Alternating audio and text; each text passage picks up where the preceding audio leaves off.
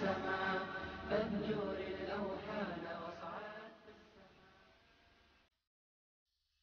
فارتقي في الخير وارفعه